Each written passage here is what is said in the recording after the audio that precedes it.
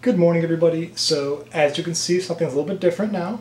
Um, with COVID 19 and everything, with the travel restrictions and shelter in place orders, Hannah is unable to be with me. Um, we are located in different areas, so for the next couple of videos, we will not be in the same location until all the COVID 19 stuff kind of clears up.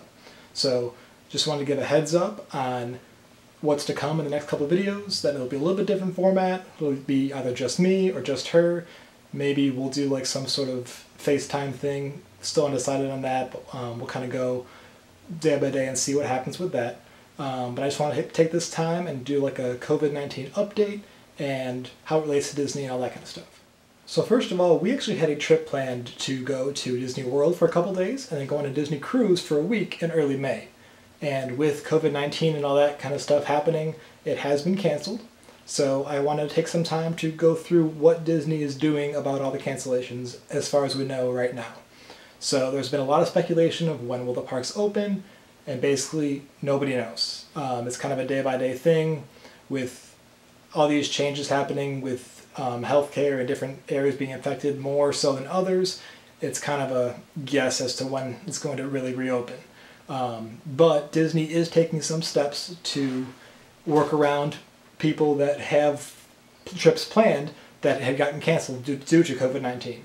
So, because we were involved with the cruise and with Disney World, I kind of have some experience with both of those.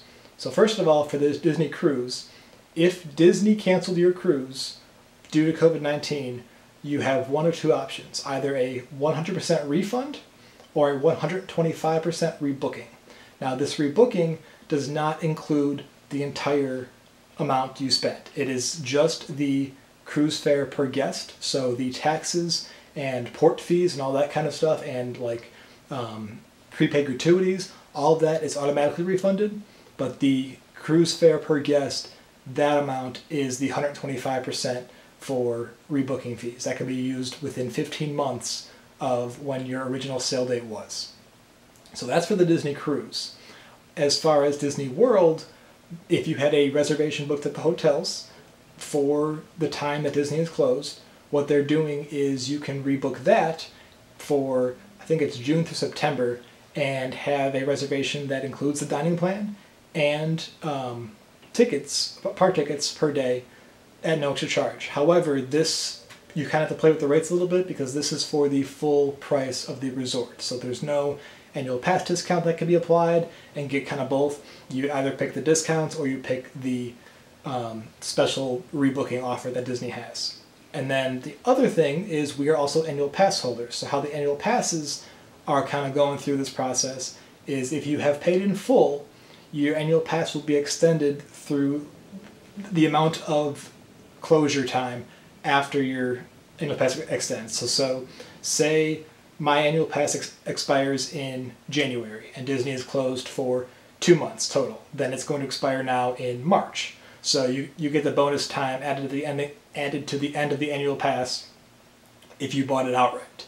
If you do the monthly payments, um, you have the option to uh, skip your payment during all this closure time and end on time, or have the same option as uh, the paying outright and extending it those couple months. So there are some things that Disney is doing, um, which is good to see that Disney's kind of being proactive with all this, um, because there's so many unknowns happening, and it's kind of a day by day thing. So as I said before, the next couple of videos, because of the, our situation being separated, are going to be a little bit different format. So just kind of bear with us. We will be going back to Disney. Uh, we just don't know when yet. So we do have some trips planned in the future the outcome of those is still unknown at this point because of uh, COVID 19. Lastly, I just want to say thank you to all of our frontline workers out there, everybody working in the hospitals and grocery stores, convenience stores, restaurants, post office, delivery drivers, truck drivers, everybody, just thank you.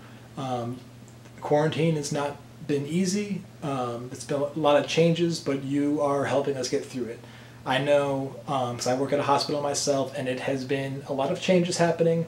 Um, and it's like I said before, it's a day by day thing. We don't know what the next day has been. I know for hospital staff, it's been a lot of like different appointments, setups, and that kind of stuff. So it, has been a learning experience for all of us involved. And I just want to say thank you to everybody out there because we are getting through this together. We're all in this together. So I hope everyone is staying safe and staying healthy. Um, there will be more videos to come, but they will just be a little bit, a little bit different format. Um, but yeah, thank you so much for watching. Stay safe, stay healthy, and we will see you real soon.